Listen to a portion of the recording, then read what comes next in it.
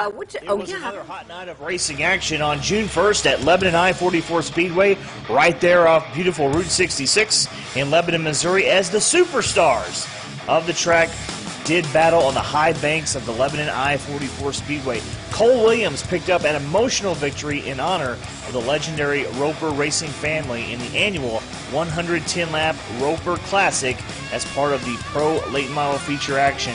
It was a great night, a big win for him, as well as some of the other great superstars that you see on a regular basis at the track, including Justin Blake in the Big Ten Late Model Series. Richard Lewis was victorious in the modified division.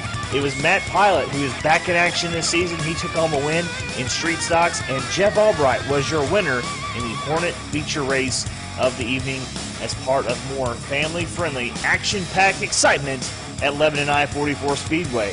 And racing fans, we're going to do it again this Saturday night, June the 15th, with the Federal Protection Hillbilly Classic presented to you by Clayton Homes with all divisions in action. What a night it is going to be. The popular kids Power Wheel races are back for youngsters age 12 and under. You must furnish your own Power Wheel to be able to compete in the kids Power Wheel races. And that's not all, fans. We're going to have a chance for you to enter and win a couple of special promotions. One is going to send you to see the St. Louis Cardinals live at Busch Stadium. Four tickets to one of the winners that night. Also, another winner is going to have the chance to earn a federal protection home security package valued at $2,000. Also, the Tees Fan Deck makes its debut.